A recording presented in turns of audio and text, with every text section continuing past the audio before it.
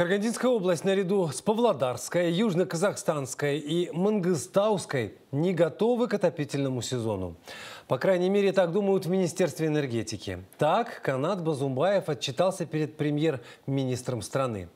Но вот на местах в Шахтерском регионе уверяют, что дела идут прекрасно. Очень холодно.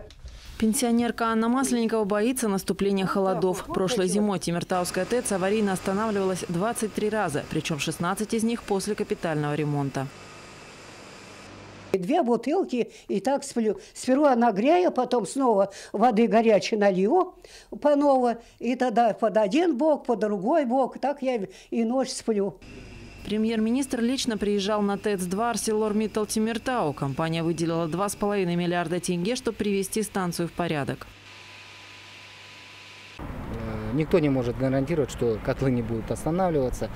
Ну, делаем все возможное, чтобы у нас и остановок аварийных было намного меньше, и больше э, дней было Карагандинской области подготовка к предстоящему отопительному сезону должна быть завершена до 10 сентября. Но не все успели. Из-за позднего заключения договора только с 10 сентября начнется поставка угля для шахтинской ТЭЦ. В Жесказгане до сих пор не начали капитальный ремонт отдельных котлоагрегатов. В Шахане после взрыва прошлого года лишь половина автономных котлов вынесли из подвалов. В Саране так и не запустили центральную котельную.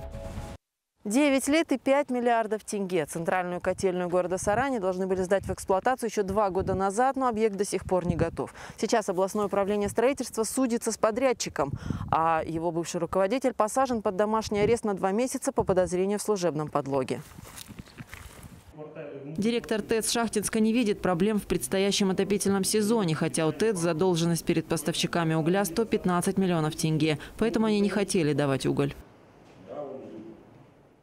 было э, подписано соглашение о выплате данной кредиторской задолженности до апреля месяца 2018 года.